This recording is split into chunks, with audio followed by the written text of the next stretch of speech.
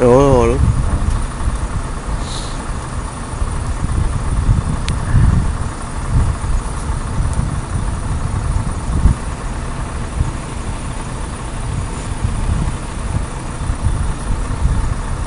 På spår två?